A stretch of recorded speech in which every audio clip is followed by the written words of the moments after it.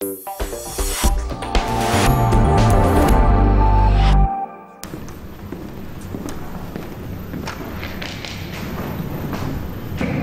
cable car ride is the end of a long commute to work. Ja, It takes these scientists two hours to get from their hometown to their laboratory at 2,700 meters above sea level.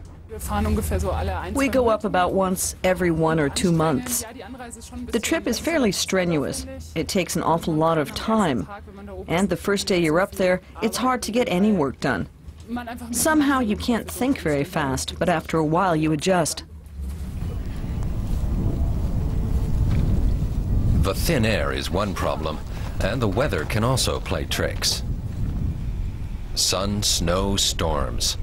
The work at this research station high in the Alps is heavily dependent on the forecast. The institute is reached by its own cable car.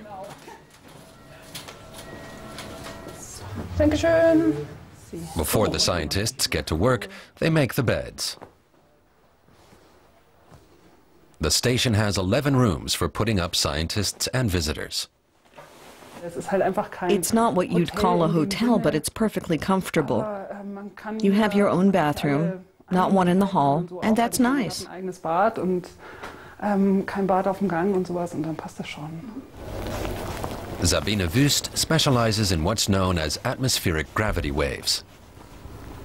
Gravity waves always occur when pockets of air are vertically displaced.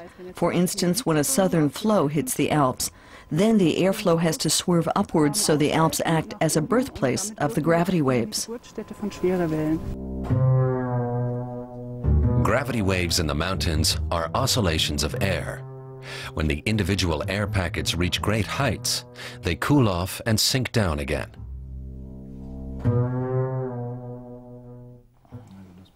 Research into these atmospheric waves requires lots of calculation and simulation.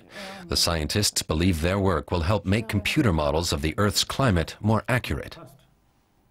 Bei den Klimamodellen Climate models have regional as well as global relevance. And especially in terms of regional effects, there's been relatively little investigation of gravity waves.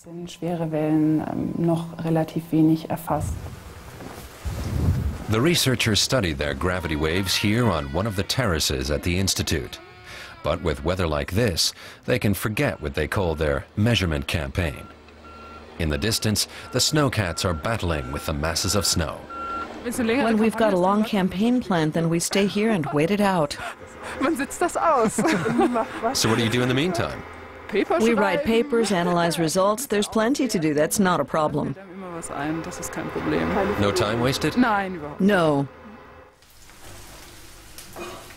But there's more to life than work.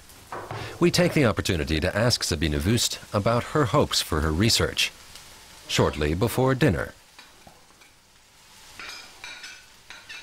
I hope that it will continue to be as much fun as it has been up to now. That's all, really. And then the rest of the staff come round for a meal of spaghetti. It could be a long evening up here on the Zugspitze. Ah.